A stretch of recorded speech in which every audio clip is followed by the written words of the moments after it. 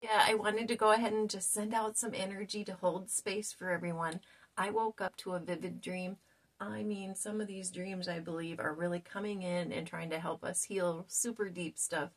And so, for you, if you have anything going on, or if you've had a dream, this Aries moon is wanting us to, you know, just solve problems and, and really giving us that gumption to figure things out and there's a lot of uncertainties right now. What I'm going to say is I'll send out healing and hold space for you to really quiet your mind for a moment so that you don't make decisions too quickly. So if there's anything that you need to think on, just go ahead and think about it. Just take a moment. Just asking God for help and answers to what it is that we're we're dealing with right now. What does your soul want you to know today?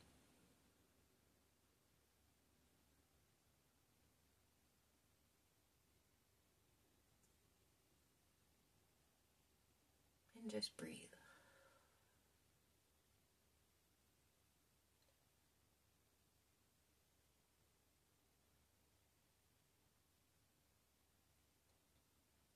I'm going to put a few things in the notes of different readers that are talking about Mars being in Aquarius along with Pluto and things that are going on right now so everyone can be knowledgeable on what's happening this week. It is going to be a little bit, um, it's going to be one of those where we need to just take a moment and think things through and definitely think before we speak. And try to be patient with each other. All right, and I'm going to go ahead and pull a card real quick. Let's see. I noticed these Instagrams, they um, they cut me off before I'm done, so I don't really know how long I have here. Peace Pipe. Let's use the Peace Pipe card. Oh my gosh, I love that card. It's been a while. Peace Pipe. I'll just read the journey in case it decides to cut me off. Peace Pipe. Write down the answers to these questions. Is there any area of your life which you need to bring peace, and what might it be?